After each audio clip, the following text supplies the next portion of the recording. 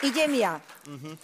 Keď si sa prezradila, povedal si, že si to ako, ako bezplatne vykonal občas, alebo teda mal také pokusy ako dieťa. Vidíš, ako sa to ťažko počúva. Znamená to, že si sa na niečo hral? Áno. A hral si sa aj s nejakým dievčatkom? Jasné. Teraz to povedz. Áno. Nie, nie. Nie. Nie. A potom na čom je indícia o sex mi vôbec nejde? Boli tak tam s kamarátom? Nie, to je výborná indícia. Fakt dobrá. Je. Je, Mišo. je taká trochu ginekologická, je. Je, trošku je.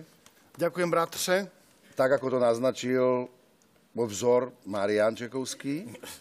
Nechajme vzory vzormi. Chlap, hrdina, dub, stroj, Maria. Sestra srdce, vysvedčenie Mišo.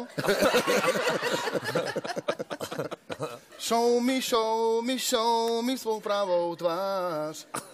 Čo majú spoločné divadelný kritik a ginekolog. Hľadajú problémy tam, kde je iný potešenie, ale